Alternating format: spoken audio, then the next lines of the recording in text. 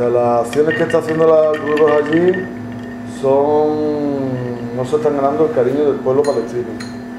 Sea, se están negando, yo he puesto el ejemplo de que se negó, se negó a hablar con Israel para que, para que no bombardeara un hospital en el que habían 17 enfermos, 16 de ellos en coma.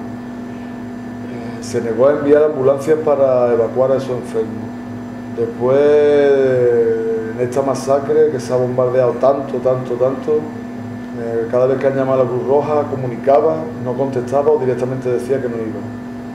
Entonces yo, he presenciado eh, escenas violentas de, de, ver a una chica que seguramente no tendría nada que ver con esas decisiones, de pasar por el hospital de Shifa y de irse la gente sobre ella con no muy buenas intenciones porque ellos al final se cabrean, se les enciende la sangre y al final muchas veces paga el que no tiene culpa. ¿no? Y tuvimos que meternos en medio para, para evacuar precisamente a la chica esa porque la cosa se estaba poniendo muy tensa. ¿no? Hay allí un movimiento que trata de, expulsar a Cruz Roja de la Franja de Gaza, porque no hace nada bueno y se sospecha que se hace cosas malas se le avisó a la Cruz Roja que por favor que hablara con Israel, que diera un margen para que pudiéramos evacuarlo en condiciones, porque no, no, no, estábamos, no podíamos hacerlo.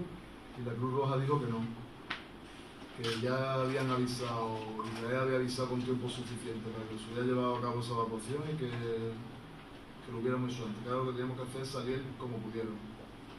Se le pidió a la Cruz Roja que al menos mandara ambulancias, porque en ese momento teníamos allí solo dos ambulancias y y un conductor y teníamos 17 enfermos que evacuar y la Cruz Roja también se negó a eso.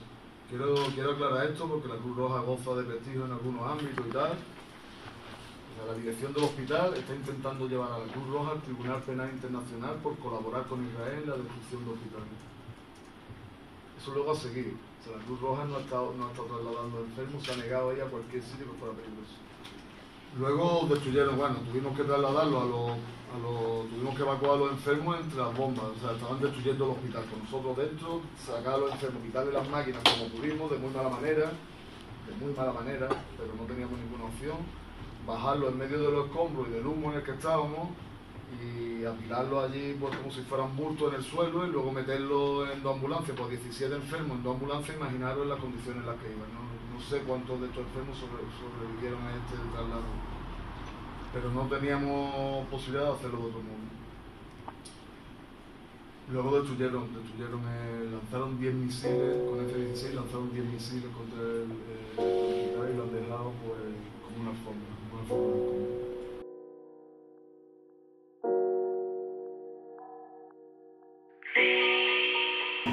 Entonces, la experiencia que yo te puedo contar de la Cruz Roja allí, pésima. Si yo pediría a la gente apoyar a la Cruz Roja, no. Si tengo alguna confianza en lo que yo haga, no. Creemos, y lo creemos pues no como un autodefensa, sino porque hay elementos que nos hacen pensar que así, que la Cruz Roja está allí al servicio de los verdugos del pueblo palestino.